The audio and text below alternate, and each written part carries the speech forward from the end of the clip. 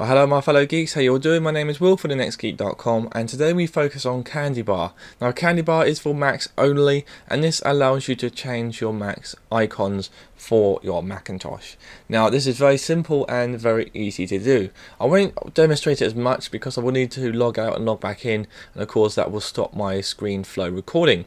So you can see here this is the actual interface that you'll be greeted with when you open the application.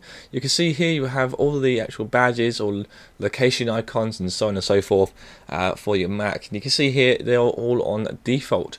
Now of course you can go to different websites to go and actually um, download or drag and drop what you want to do. And basically what you do once you download the icon you basically drag it from your desktop on top of this sort of let's say server and it replace it like so. And then after that pop down or drop down sorry should I say will drop down here and you'll actually have to log out and log back in to make the actual effect work. Now this is what you don't you know have what well, you can have general icons or you could go for your whole Macintosh icons. So you do have a whole plethora of op well options. So you can see here I've actually have applications. And uh, so you can see I can change applications as well. And for docs you can see here I can change the light the sort of like spacing strip and also the background and also bottom edge and so on and so forth. Now for the hard drives, of course, you only have the one volume, but you can actually add multiple ones uh, depending on how much you've actually added to your Mac, of course. So again, this is free. It was originally uh, you know, a paid application, but people don't seem to be doing this anymore. Um, it's reasonably good, and of course, you can get the actual free serial number from their actual software or their basically free company, which now offer their sort of serial, so you can download it and also have the free version. So I'll put a link down in the description so you can see here uh, there is the serial number for those who are looking for that. Uh, I think it's a really good application. I think it's quite sad that they had to go and have this for free.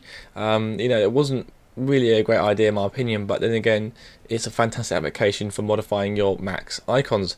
Again it's you know something that you may be interested in and some may not be interested in.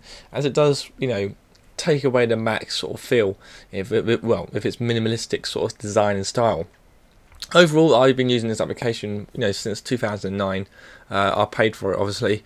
Um, but now you don't have to obviously. So um, you know I totally recommend it if you're interested in doing that. Again you know searching for icons isn't really that too hard. You just have to type in Mac icon sort of stuff and you find out different uh, sites that give you you know decent amount of um, you know badges or icons.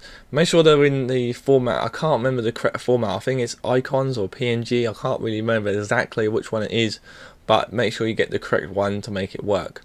Again, this is uh, CandyBar. Hope you've enjoyed. If you did, then make sure to check the availability links down below and also subscribe for future videos. Anyway, guys, my name's Will for the Next Geek. I hope you all enjoyed, and I'll see you all in my next video.